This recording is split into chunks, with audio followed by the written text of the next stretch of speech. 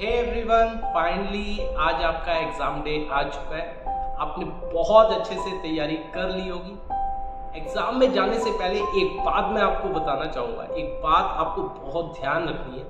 वही बात आपको एग्ज़ाम में बहुत अच्छे मार्क्स दिलवाने वाली है। वो बात क्या है? वो केवल एक बात है कि आप अपने अंदर सेल्फ कॉन्फिडेंस रखिए।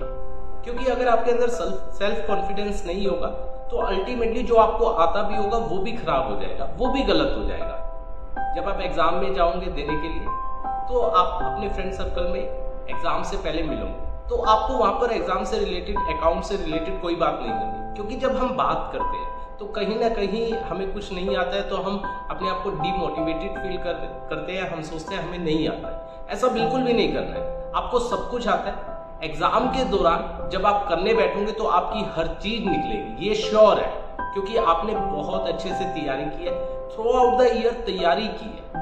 तो आपको डरने की ज़रूरत नहीं है, आपका एग्ज़ाम बहुत अच्छा होने वाला है। और गाइज़ आपको एक बात और ध्यान रखनी है, अगर एग्ज़ाम में कहीं भी आप स्ट्रक होते हो तो उसको वहीं पर ड्रॉप कर दो। आगे बढ़िए, नहीं तो आपका समय खराब होगा, क्योंकि आपको प्रॉपर टाइम मैनेजमेंट से चलना है। है गाइस और आपका पेपर बहुत अच्छा होने वाला है क्योंकि आपने बहुत मेहनत की है। बेस्ट विशेष आप सभी के लिए और आप लोग बहुत अच्छे मार्क्स लेकर आओगे। ये मेरी आप लोगों से श्योरिटी है।